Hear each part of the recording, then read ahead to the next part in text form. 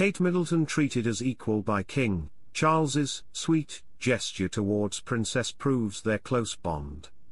Kate Middleton's return to the public eye was a major relief for the entire nation. They rallied behind their beloved princess with love and blessings as she continued her battle with cancer. On June 15, during the trooping of the colour celebrations, the Princess of Wales arrived at Buckingham Palace with her children and husband. Welcome to Royal Pancakes. If you are new here, please don't forget to subscribe and click the notifications bell, so you don't miss any news about the British monarchy. Meanwhile, King Charles was observed with pride and happiness as he saw his brave daughter-in-law take charge. According to experts, he regarded Kate as on par with him, and his respect and thankfulness for his daughter-in-law are clear. King Charles, Queen Camilla, William, and Kate finally made their much-awaited balcony appearance at Buckingham Palace as they greeted the gathered crowd. They watched a flyby of military aircraft, which marked the official birthday ceremonies of the monarch. Alongside other royal members, they were accompanied by Kate and William's children, George, Louis, and Charlotte.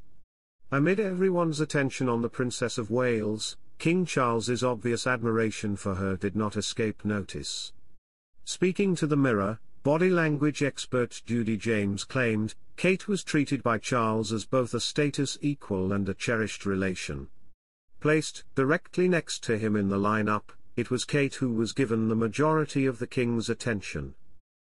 Unfazed by the excitement, Catherine appeared calm and composed as she rode in a carriage down a legendary London avenue. Her expressions greeted the crowds gathered along the sidewalk with polite gestures and smiles. Accompanied by her children, she navigated the celebratory chaos with ease. Later, back at Buckingham Palace, the family continued their years-old tradition.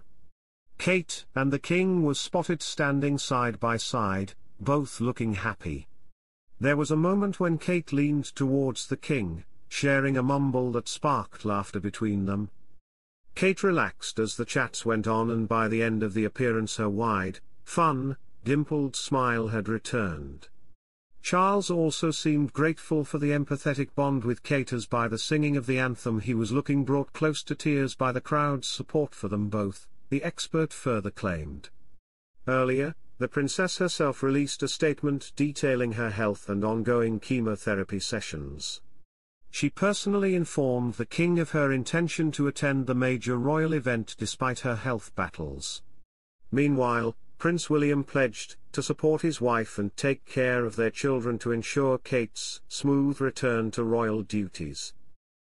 Meghan Markle launched two new products under her lifestyle brand, American Riviera Orchard, just hours before Kate Middleton's royal comeback at Trooping the Colour. A close friend of Markle's unveiled a new raspberry-flavored jam from the Duchess of Sussex's brand and teased that she will also be selling dog biscuits. Soon after, the internet buzzed with claims that Meghan allegedly tried to steal the limelight from the Princess of Wales. However, an expert has now clarified that the business move timed seemingly coincidentally, was not made with any malice, and did not overshadow anything. Speaking to the Mirror, PR expert Lynn Carratt said, I don't think Meghan sending a pot of her American Riviera orchard jam, and some dog biscuits to the couple's close friend Nacho Figueras a day before the trooping of the colour and Kate's first public appearance since undergoing cancer treatment was done with any malice. The cancer-stricken Princess of Wales made her much-awaited royal comeback on June 15 after staying out of the public eye since being diagnosed and undergoing preventative therapy. She was seeking privacy at her royal Windsor home with her children and Prince William. Her return was definitely one of the most anticipated events for royal followers, so watching Meghan allegedly trying to overshadow irked many, and she was slammed by netizens for this business move.